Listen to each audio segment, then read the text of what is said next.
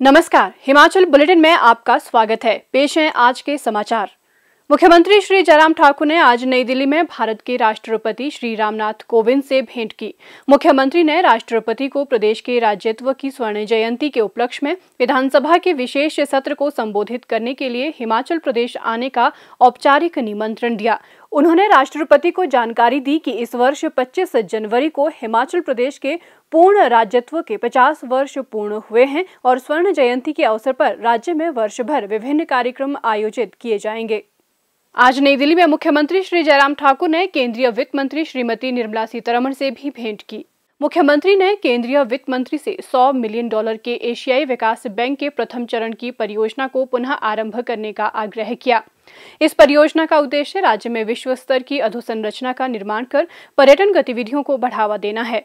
उन्होंने कहा कि परियोजना के प्रथम चरण में 20 उप परियोजनाएँ शामिल हैं और राज्य सरकार अटल टनल रोहतांग के दोनों छोर पर अधोसंरचना विकसित कर इस स्थल को बड़े पर्यटन गंतव्य के रूप में विकसित करना चाहती है। केंद्रीय मंत्री ने एशियाई विकास बैंक परियोजना को पुनः आरंभ करने पर विचार करने का आश्वासन दिया और शीघ्र इससे संबंधित प्रस्ताव भेजने को कहा। केंद्रीय वित्त मंत्री ने मुख्यमंत्री को विकास में गति के लिए शीघ्र निधि तथा स्वीकृति प्राप्त करने के लिए राष्ट्रीय अधोसंरचना पाइपलाइन का उपयोग करने को कहा। उन्होंने मुख्यमंत्री को कोविड टीकाकरण की प्रथम खुराक के सफलतापूर्वक क्रियान्वयन के लिए बधाई भी दी। मुख्यमंत्री श्री जयराम ठाकुर ने आज नई दिल्ली में केंद्रीय नागरिक उड्डयन मंत्री श्री ज्योतिरादित्य एम सिंधिया से भेंट की।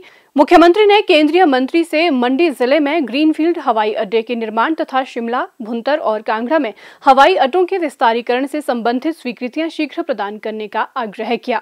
उन्होंने कहा कि हिमाचल प्रदेश एक लोकप्रिय पर्यटन गंतव्य है और हवाई अड्डों के निर्माण और विस्तारीकरण से पर्यटकों के आगमन में वृद्धि होगी, जिससे पर्यटन को बढ़ावा मिलेगा व रोज़गार सृजन की संभावनाएँ भी बढ़ेगी।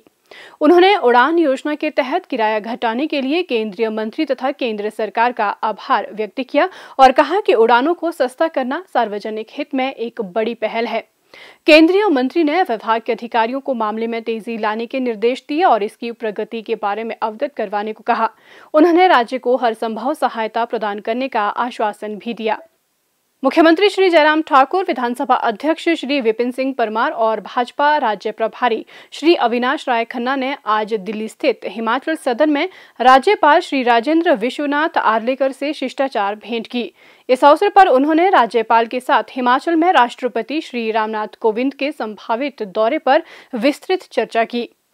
स्वास्थ्य एवं परिवार कल्याण विभाग द्वारा दोपहर दो बजे जारी बुलेटिन के अनुसार प्रदेश में कोरोना संक्रमण की जाँच के लिए आज एक हज़ार चौंतीस लोगों के सैंपल लिए गए, जिनमें से 207 लोगों की रिपोर्ट नेगेटिव पाई गई है, जबकि 814 लोगों की रिपोर्ट आना बाकी है। अभी तक बत्तीस लाख इकहत्तर हज़ार आठ सौ तिहत्तर लोगों की जाँच की जा चुकी है, जिनमें से 30 लाख पचपन हज़ार छह सौ सतहत्तर सैंपल की जाँच नेगेटिव पाई गई है।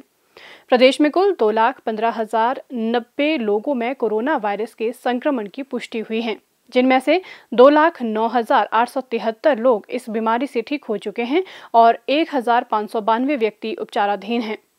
हिमाचल बुलेटिन देखने के लिए सब्सक्राइब करें YouTube channel DPR Himachal. Follow करें Twitter at DPR HP like करें Facebook page information and public relations department Himachal Pradesh visit करें वेबसाइट www.himachalpr.gov.in इस अंक में इतना ही। कल फिर होगी मुलाकात। दीजिए इजाज़त। नमस्कार।